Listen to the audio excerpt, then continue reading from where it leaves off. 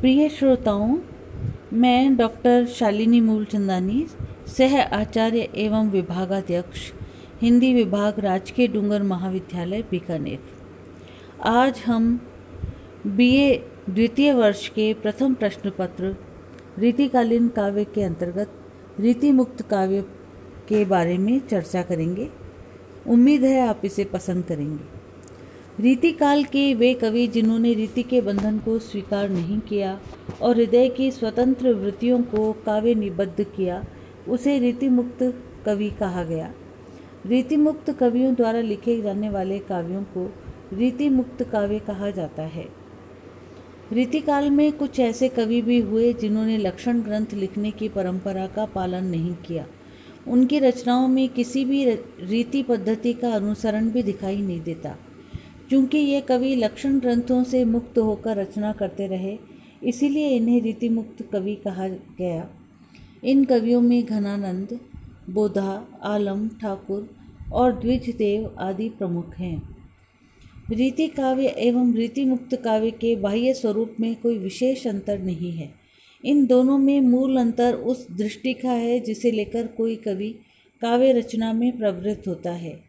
रीति मुक्त कवि अपनी अनुभूतियों की अभिव्यक्ति के लिए काव्य रचना करते हैं। आश्रयदाता की प्रशंसा के लिए नहीं। रीति काव्य लेखकों का कविता के प्रति दृष्टिकोण दायित्व का नहीं, आनंद का था, जबकि रीति मुक्त कवियों ने कविता को साध्य माना है। ठाकुर रीति कवियों की रूढ़िगत परिपाटियों की आलोचना करते हुए कहते हैं बेल सो बनाए आए मेलत सभा के बीच, लोगन कवित की वो खेल करी जानो है। जबकि घनानंद कविता के प्रति दायित्व बोध रखने वाले सजग रचनाकार हैं। वे कहते हैं, लोग हैं लागे कवित बनावत मोही तो मोरे कवित बनावत रीतिमुक्त कवियों का प्रेम वासनाजन्य व संभोग परक नहीं है। इनके प्रेम में शुद्ध शारीरिक आकर्षण के स्थान पर विरह की गरिमा है। इनका प्रेम एक निष्ठ और सीधा सरल है। सुजान के प्रेम में रत घनानंद कहते हैं, अति सुधो स्नेह को मार्ग है जहाँ नेक सयानप बांक नहीं। रीतिमुक्त काव्य पर फारसी का प्रभाव भी स्पष्ट है। घनानंद और आलम फारसी के विद्वान थे। इनके विरह पर फारसी शैली का प्रभाव भी पड़ा। दिल के टुकड़े, छाती के घाव जैसे विरक्तिपूर्ण उपमानों का प्रयोग हुआ, जो संवेदना कम, बेचैनी अधिक उत्पन्न करता है। वस्तुतः रीति मुक्त काव्य शास्त्रों से मुक्ति का काव्य है। इन कवियों ने काव्य शास्त्र के नियमों पर ध्यान नहीं दिया। ये कवि हृदय की अनुभूति के आधार पर रचना करते हैं। इनका काव्य आलंकारिकता का खंडन करता है तथा मार्मिकता पर ध्यान देता है। इनके यहाँ अलंकारों का प्रयोग कम हुआ है। घनानंद ने अलंकार प्रयुक्त तो किए, किंतु गहन भावों की अभिव्यक्ति के लिए, न कि चमत्कार प्रदर्शन के लिए।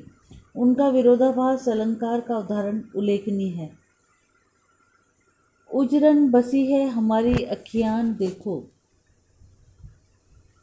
रीतिमुक्त काव्यधारा के प्रमुख कवि और उनकी कृतियाँ इस प्रकार हैं। घनानंद घनानंद ने सुजान सागर, सुजान हित, इश्कलता, विरह लीला, वियोग बेली कृपा कांड निबंध, रस केली वल्ली यमुना यश लोकसार प्रीति पावस, पदावली, प्रकीर्णक छंद आदि ग्रंथों की रचनाएँ की।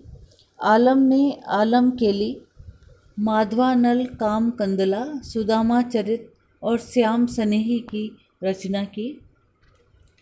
ठाकुर की रचनाएँ ठाकुर ठसक और ठाकुर शतक मुख्य हैं। बोधा ने विरह वारिश और इश्क नामा लिखा। धन्यवाद मित्रों, मेरे चैनल को लाइक और सब्सक्राइब अवश्य कीजिए।